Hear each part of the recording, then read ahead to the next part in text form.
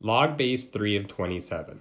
So remember, what a log does is it gives you exponents. So we know what the base is, we kind of know what the product or the answer is. We got to figure out what exponent do we got to raise 3 to to get 27.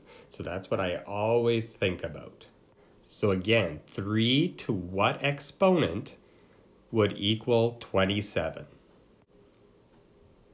Well, this one's not too bad because I know 27 is 3 times 3 times 3, which is 3 to the power of 3. So then log base 3 of 27 is 3 because that's how many 3's it takes to multiply to 27.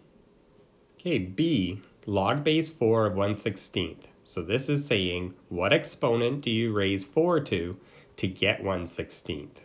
Well, there's kind of two things on this one.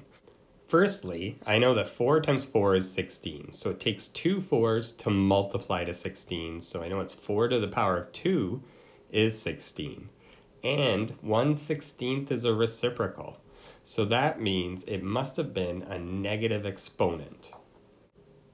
So just combine those, so it's negative 2. 4 to the power of negative 2 is 1 16th, and there are two solutions for A and B.